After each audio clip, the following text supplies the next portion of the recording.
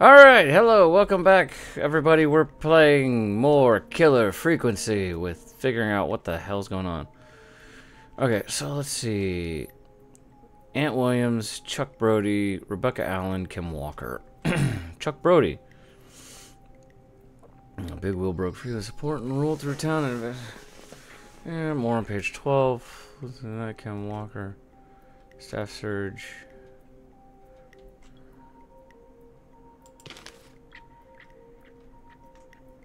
Lead engineer responsible for Galaxy Harvest. Number six, I will.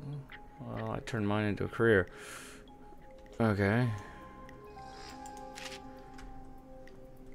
Is your car safe? More citizens, multiple car thefts, crime wave is seven. Stopped. I can assure you, we must work together to bring down this criminal organization. 24-hour gas station bought by local ex-lottery winner. Christine's Gas. Only won lottery 14 years ago. Claims will keep me busy this evening. Wait a minute. There was something about a lottery ticket. Yeah. Captain Chuck Brody. Chuck Brody?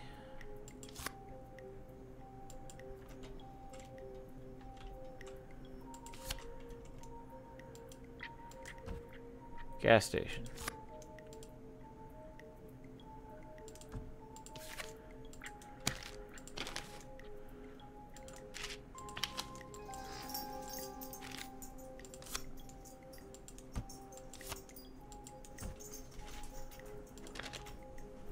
Chuck Brody got a gas station. He got, uh, can I grab one? Thank you. He got a gas station. Where is it? Um, shibink. The gas station. Trailer for sale cheap. I'm sick of being a local celebrity. People are so mean to me. I almost sold a few cars. Who cares?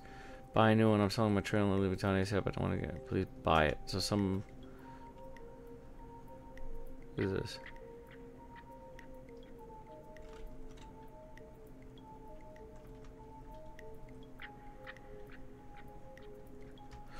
Looks like a Chuck Brody.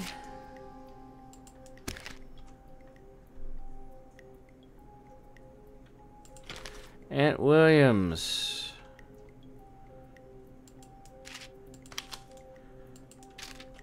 So you did all this.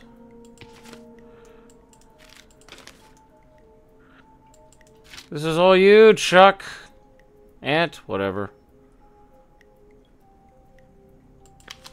R.A. Rebecca Allen.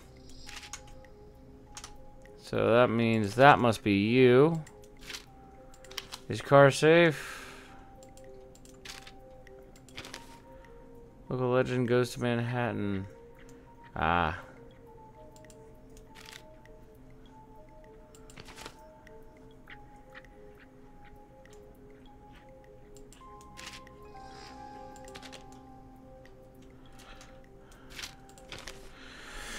Charger struck Gallows Creek yesterday afternoon after a bus failed to stop and crashed in a fuel tanker.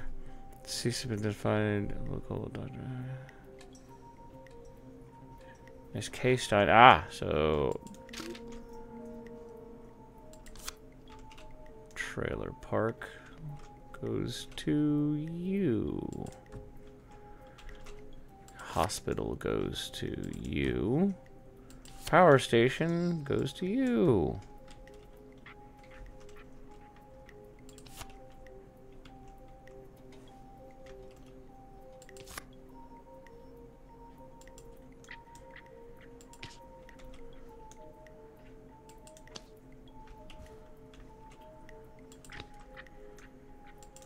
How am I supposed to be do What am I doing here? Uh, hold on. I think I can talk to Peggy. How's it going?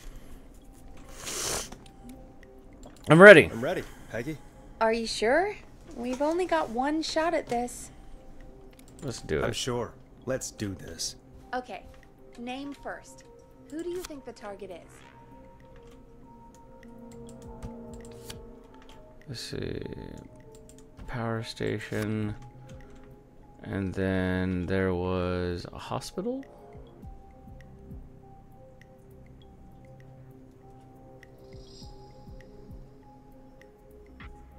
Ah, hospital. Uh, we'll say Chuck Brody. Chuck Brody. And where will I find them? Probably the gas. The gas station. Okay, I'm dialing. One moment.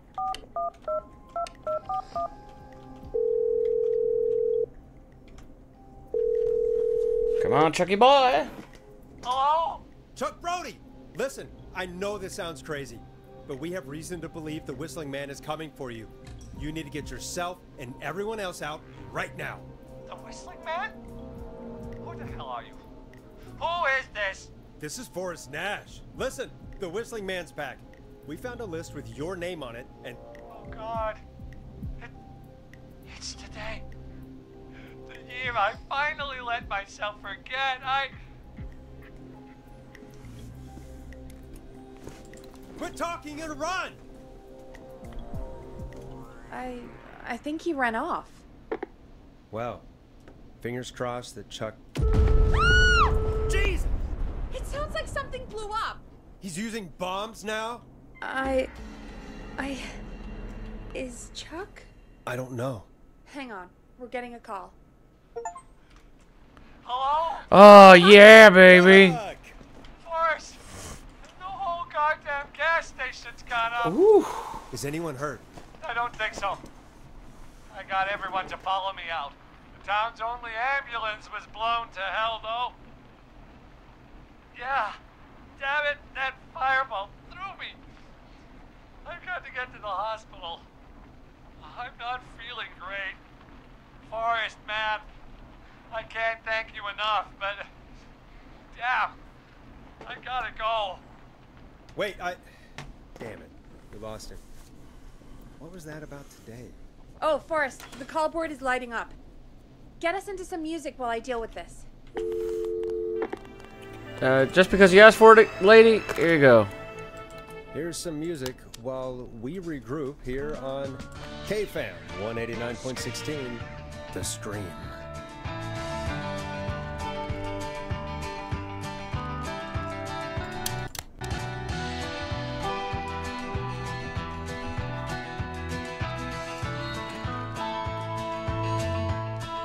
There's gotta be more in the basement to show us who Clive is targeting. And if that's the case, we can get ahead of him. Stop the killings before they can happen. Forrest, we need to go back down. By we, you mean me, right? Yep.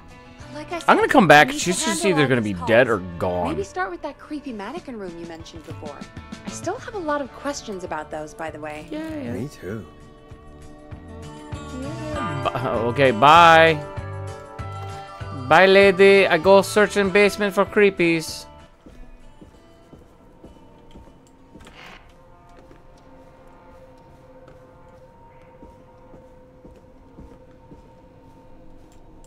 If something is gonna happen in this fucking basement, it's gonna happen. So, yeah.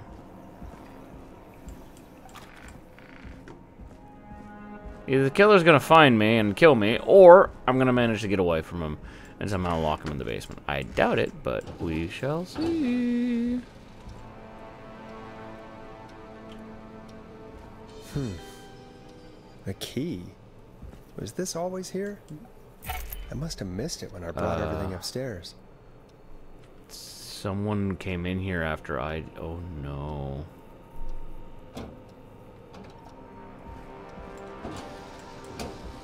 Oh no.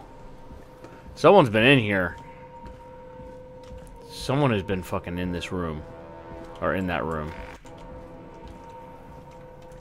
No one can be in here, right? Yeah, no, it's just full of supplies.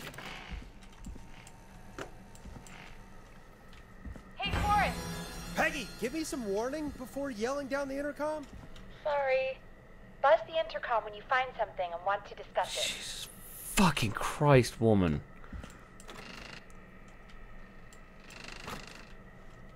Okay, so I gotta do shit in here. What's this? Peggy, I've found a tape and a map down here. A map of what? Looks like it might be to somewhere in this storage area. Weird. Well, maybe the tape will give us more information. Give it a play. It's a tape recorder.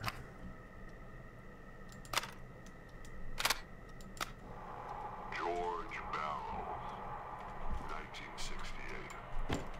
That's when this all began for me. Mm-hmm. Maps, find the tapes. I'll be waiting. Wait, George Barrow? We all heard that he drowned after a night out drinking. Was this actually Clive? Has Clive really been the whistling man for that long? He says I need to follow the maps and find the tapes.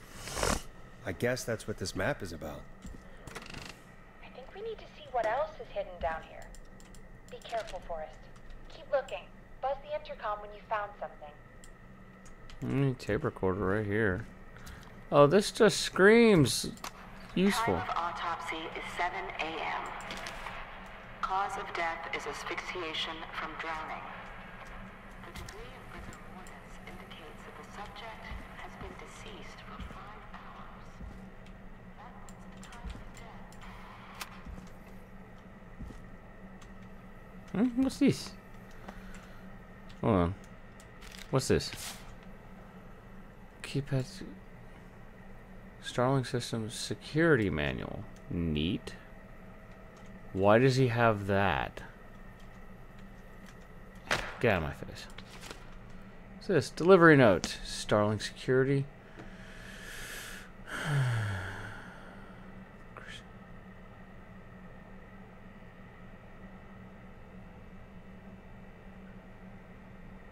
Huh.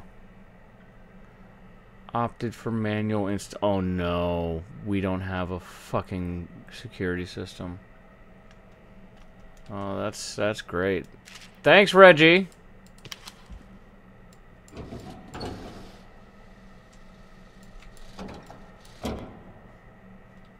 Thanks a lot, buddy.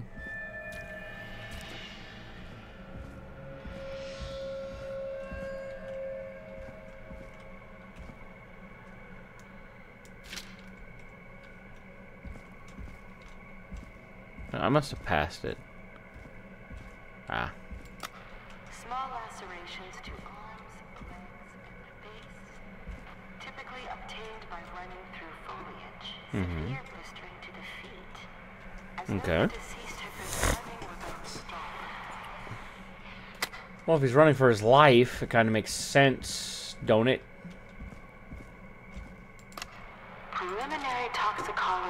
Results shows no signs of inebriation. However, Can't see this. a high amount of cortisol was found, Ah. elevated levels of stress in the immediate moments before death. Okay. But how's his glutes looking?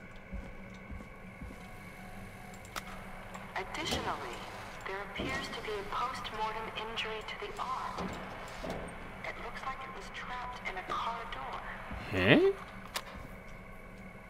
Okay, so someone did a die. What these? Neat. Hey! It is the coroner's opinion that the subject likely feared for his life and was chased, resulting in a fall I'm sorry I made you do this, Regina.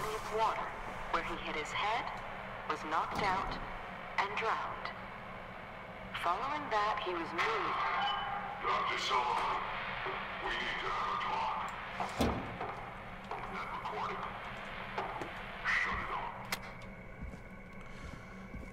Hello, Satan! Hold on. Humpy Dumpy! Mmm!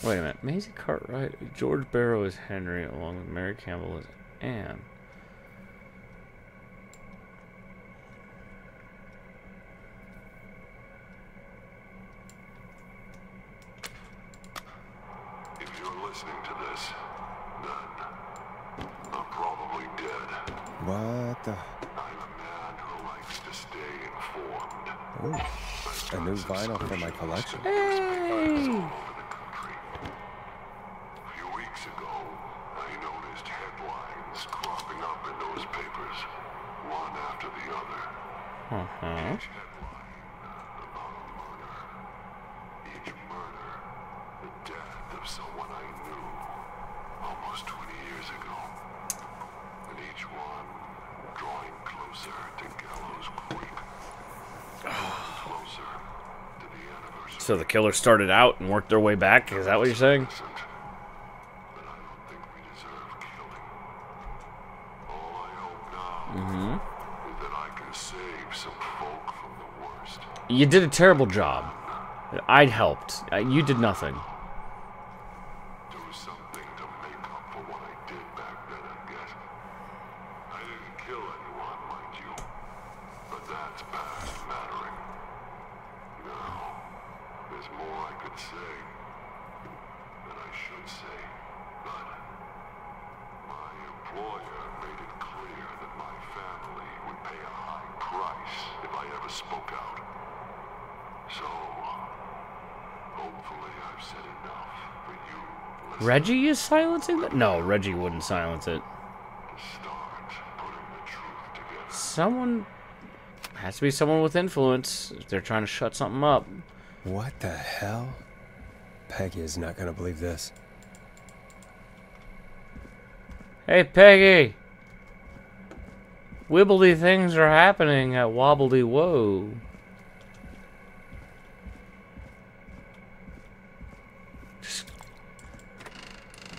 Ah! What have you found, Forrest? It's an autopsy tape.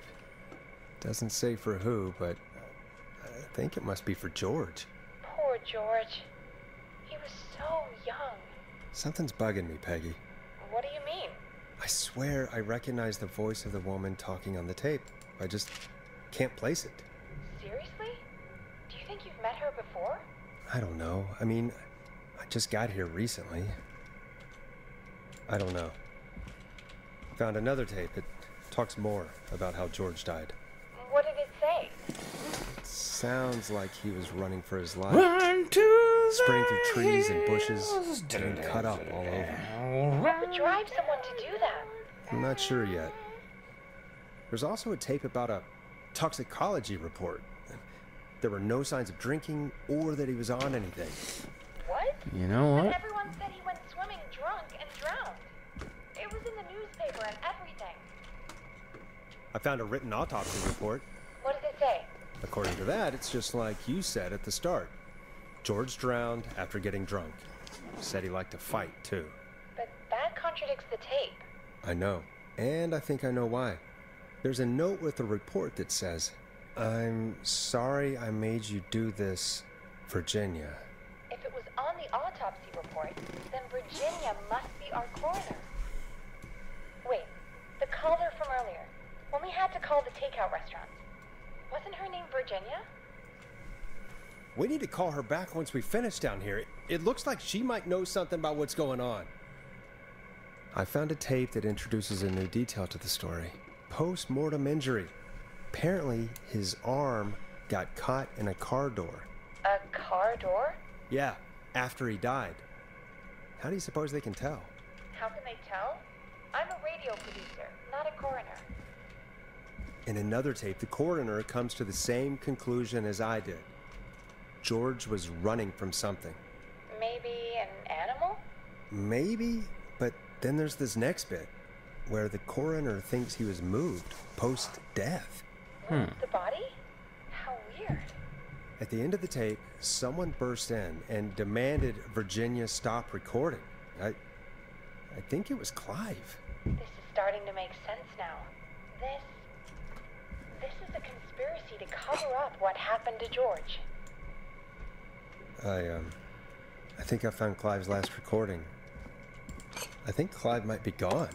Gone? I found a confession. Not for any killings, but for playing He won't mind if I throw his shit around since- George's death. He left this behind in case he died. He hoped someone would find it. You. Do you think the Whistling Man already got him? Possibly. We've had a lot of callers tonight, but maybe not every victim made it to the phone, you know? We don't know how many there really are. Christ, Forrest, that's dark. Yeah, I know. Ain't it great? Clive said he had read about other murders in other towns, and that the murders were all folks who knew about the incident. And the killings were getting closer to Gallows Creek. He said he wanted to do something good for once. The board in his office. He wasn't tracking people down to kill them. He was tracking them down to save them. Ugh, why didn't he just come out with all of this? Uh, he said his employer threatened his family if he spoke out about any of it. His employer? The one who orchestrated the cover up? Oh, Clive. I'm sorry for thinking you'd killed all those people. How dare you, bitch? You shameful Found harlot. everything? I think so. Forrest, what's going on here? Someone wanted that boy's death to seem like an accident. And they hired Clive to make it look that way. Do you think maybe the person there's a person close to Clive, like a family member or a brother? and they're Thank God you're back, Forrest. I've been running out of stuff to pad our airtime with. Peggy, you work in radio. Forrest, I'm stressed. I mean, really. How are we supposed to keep a show going with all this happening? This is our job, Peggy. We, we gotta do it. You're right. So, what's the plan now? I think we should call Virginia back. All right, I'll get her on the line. Hello again, Gallows Creek. This is Forrest Nash. We're circling closer to the truth behind tonight's events. To this end, we're calling back one of our earlier callers, Virginia Sullivan. What's up, bitch? Redman Plunker here. Who's this? Is it you? Good. It's the goose. Plunker, hey, it's the Radio Man, Forrest Nash. Radio Man? What's up? Solving mysteries, saving lives. The huge. Right, right, The right, right, right on. He's got the what are you doing at. Virginia's house? She asked if we could stay to keep an eye out for that whistling turd. the So whistling. we're hanging out, bro. well, that's uh, that's big of you, Plunker. No, it's nothing. Can I speak to Virginia? Sure thing, Radio Man. I'll just go get her. Who is this? Hey, Virginia, it's Forrest. I'm, I'm glad you're still okay. Oh, Forrest. Sorry, I'm still jumpy. You haven't enough, haven't had enough booze. Sorry to hear that, but listen, hey, we need to talk. What about? We're calling because we think you can help us understand why this is happening tonight. Me? What would I know? Uh, Clive. Does the name Clive mean anything to you? Clive? No, I don't know that name. What are you asking about this for? You mentioned that name earlier mm-hmm. when you called us the first time. Tell us your secrets, What I woman. said then? I was petrified, Forrest. Clive's the janitor at our station, and we know you spoke to him in the past. Forrest, please. You don't know what you're doing. He'll come for me. Virginia, it's okay. Clive won't be coming after you. We think Clive's dead. Dead? But isn't he? He's the whistling man, Forrest. Um. Why are you Why so are you certain? so certain Clive's the whistling man? Because he. All those years ago, he. It's okay, Virginia. He's gone. We found evidence to suggest he. Well, And we found your autopsy reports for George Barrow. How? I saw him destroy them. Not before he made a sneaky If you Xerox. kept them or made copies or what, but we found them, and we know it's related to what's happening tonight, which is why we called you. why did you write a false report? I. All right. One day, I came into work to find a. a boy on my slab. Mm-hmm. And as I finished the autopsy... Just autopsy, come up to the lab and see man what's on the cried. slab. just burst in and I see you shiver with demands. anticipation. give over the reports, to falsify what I found. Of course, I said But no. maybe the rain Well, when someone wants to isn't make you do really to blame, they can so I'll remove the the cost. For me, he used both. But not See, the symptom! Sick. she has a chronic condition that's never going expensive to treat, and it was getting to where I couldn't Sorry, I lost myself to some Rocky Horror for a moment. promised me that his employer would pay for my sister's treatment. Wow, your if employer. I did what he said. And Wow. that if I ever spoke about this, he'd beat me to within an inch of my life. That's I don't know extortion. why he had me do it, but my God sister needed Damn me. it. You have to understand. No. She needed me. We understand. Speak for yourself, Peggy. Thank you, Virginia. But yeah, it's That fine. I'll I'll, I'll agree as I long as it keeps you talking. This will help end it, Virginia. Thank you. Stay safe, Virginia.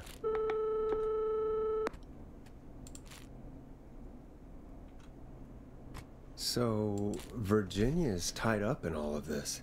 Clive threatened her to keep quiet about George's death. But for who? Why cover up these details? We could try Sandra. What would Sandra know? I don't know, but we have to start somewhere. Anyway, just be careful when you're talking to her. Don't push too hard. We don't want her to hang up. I'll be careful. All right, calling her now. Hopefully, she's at her jazz studio. That's on the other side of town. She was close to the exploding gas station. Aha! Forrest, you're through. Hello, this is Sandra at Jazz Pizzazz Jazz Studio. Who is it? Jazz Pizzazz Jazz Hello Studio. again, Sandra. Jazz, It's pizzazz, jazz. Forrest Nash of 189.16, The Scream. And you're live on air. oh, I always thought folks called into a radio show, not the other way around. How jazzy. What can I do for you? Uh, well, we're trying to understand what's behind the attacks tonight. We had a few questions. Why, Forrest, of course. Heck, after the way you saved my life, I'd say yes to just about anything you asked. I'm sorry. I was mentally killing myself. Uh, why were you targeted? Uh, yeah. Why were Do you targeted? Let's just get straight to it. Might have targeted you. Shit. Ha! I couldn't tell. He was just a knife-wielding psycho with superhuman cardio. He'd have chased after anybody. Mm. Right. Well, we think he might be. We're all just notches on his murder belt, after all. People who know about the death of a boy named George. Oh, I don't know anything about that. Sorry.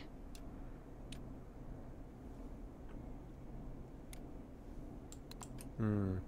Have you had to keep quiet about anything? Any secrets you've had to keep? What would I have to keep quiet about? I don't know. I mean, could be that you've seen something or heard something. I never saw anything. And even if I did, what would that matter? And, and it was years ago.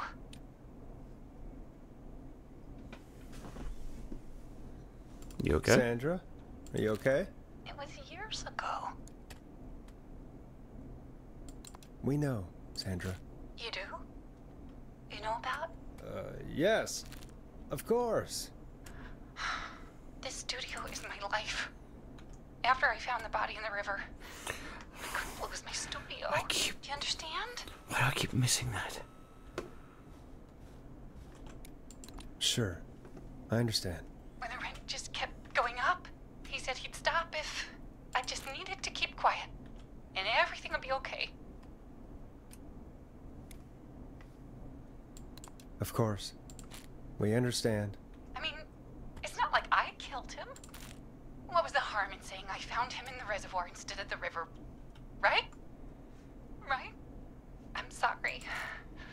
I can't do this.